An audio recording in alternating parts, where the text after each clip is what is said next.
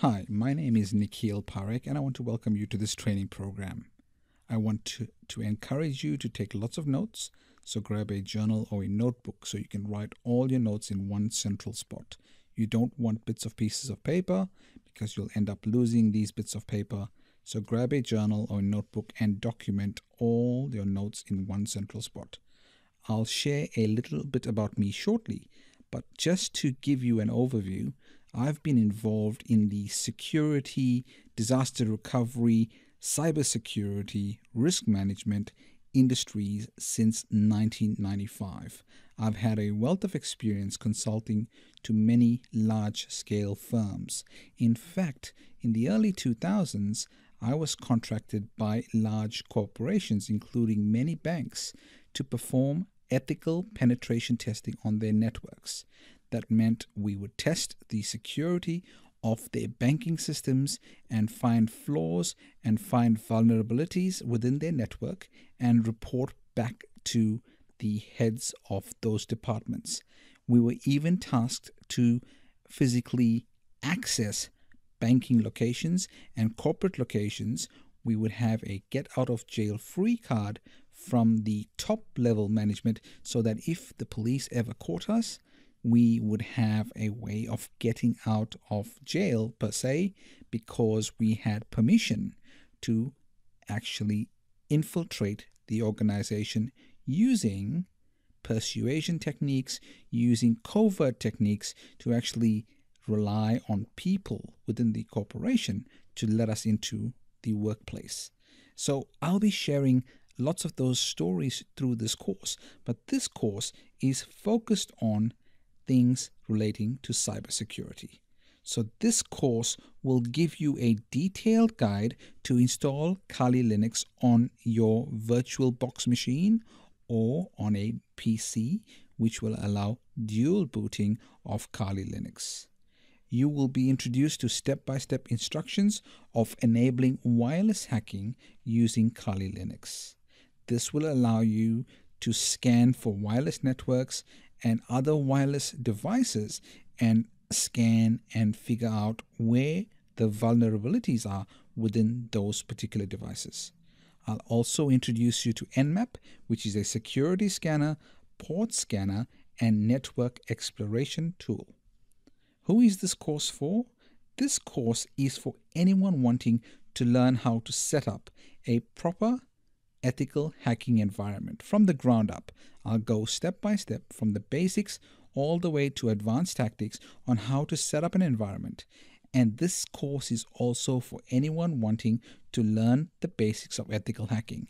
This is also for business owners to understand what hackers have access to in the marketplace and how best to protect yourself. The only way to protect yourself is to understand what is available, what can be done and what controls you can put in place to make sure you minimize any risk or consequence to your business. Now I'll introduce myself a bit more and then we'll get on to the training program. If you haven't connected with me on LinkedIn as of yet, I strongly advise that you connect with me. If you look through my profile, you will note that I have worked with some amazing people. I've worked with high profile celebrities featured on the Miss USA, the Miss Universe pageant, The Apprentice, the hit TV show with Donald Trump. I've worked with stars who have been on the ABC network or in the Wall Street Journal, the NBC, the CBS network, even the Fox network. Now, I don't say this to brag, but I say this because none of these deals would have happened if I had not negotiated my way to make these things happen. Now, I've worked with multimillionaires. I've worked with billionaire clients. Now, that doesn't happen by accident. There's certain steps that have to be taken that f- become the foundation of negotiation. And I will be sharing these secrets with you in this particular program. Here's just one example of an endorsement from a client who I actually helped achieve some of his goals. So if you read this endorsement, he says, Nikhil is a seriously inspiring individual that understands the power of thinking big. When I was much younger, he was a mentor to me, and really helped me realize the power of thinking big. That was when I was 15. I started a company called Appster with Mark McDonald when I was 19.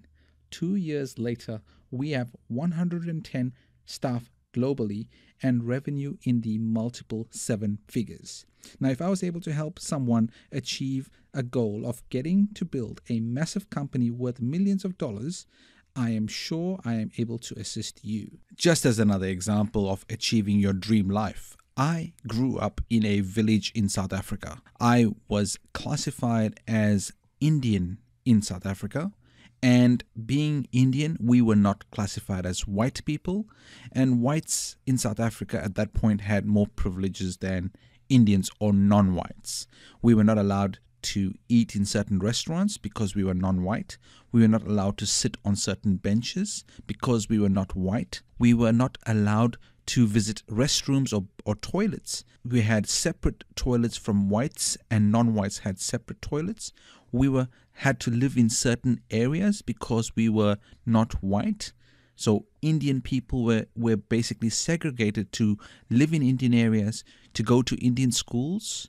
I remember as a child, about 10 years old, going to a clothing store. And at that clothing store, it was you can buy the clothes, you can pay for the clothes, you can not try the clothes out in the store because you are not white.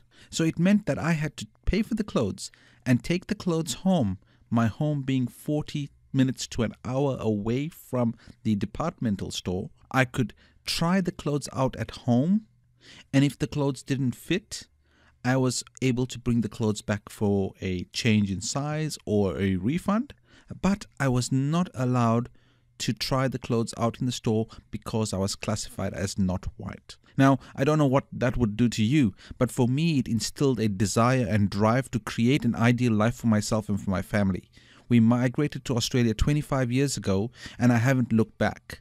I still have fond memories of South Africa and my family and friends back home, but that will always be home. But I will never ever forget the life that I was given because of the state of government at that time.